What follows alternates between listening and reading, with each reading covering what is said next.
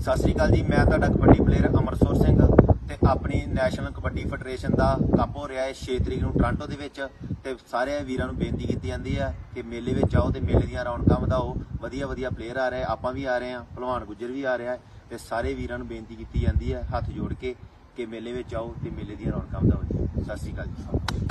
ਸਤਿ ਸ੍ਰੀ ਅਕਾਲ ਸਾਰਿਆਂ ਨੂੰ, ਮੈਂ ਤੁਹਾਡਾ ਆਪਦਾ ਗੁਰਲਾਲ ਸੋਲ ਆਪਣੇ ਭਾਜੀ ਸੁੱਖੇ ਮਾਨ ਹੋਣੀ 6 ਅਗਸਤ ਨੂੰ ਵਰਲਡ ਕੱਪ ਕਰਾਉਣ ਲੱਗੇ ਟੋਰਾਂਟੋ ਦੇ ਵਿੱਚ।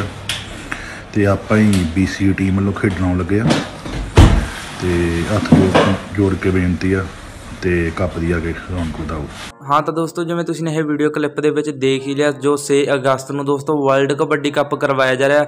ਉਸ ਦੇ ਵਿੱਚ ਦੋਸਤੋ ਪੰਜਾਬ ਅਤੇ ਪਾਕਿਸਤਾਨ ਦੇ ਤੇ ਹੋਰ ਦੇਸ਼ਾਂ ਦੇ ਦੋਸਤੋ ਚੋਟੀ ਦੇ ਸੁਪਰਸਟਾਰ ਪਲੇਅਰ ਖੇਡਣਗੇ ਤੇ ਦੋਸਤੋ ਪੰਜਾਬ ਦੇ ਪਲੇਅਰ ਬਿੱਲੀ ਲੱਲੀਆਂ ਵਾਲਾ ਡੇਰਾ ਬਾਬਾ ਨਾਨਕ ਦੀ ਧਰਤੀ ਦਾ ਗੱਜਣ ਤੇ ਦੋਸਤੋ ਇਹਨਾਂ ਪਲੇਅਰਾਂ ਤੋਂ ਇਲਾਵਾ ਵੀ ਹੋਰ ਵੀ ਚੋਟੀ ਦੇ ਸੁਪਰਸਟਾਰ ਪਲੇਅਰ ਖੇਡਣਗੇ ਦੋਸਤੋ ਇਸ ਵਰਲਡ ਕਬੱਡੀ ਕੱਪ ਦੇ ਵਿੱਚ।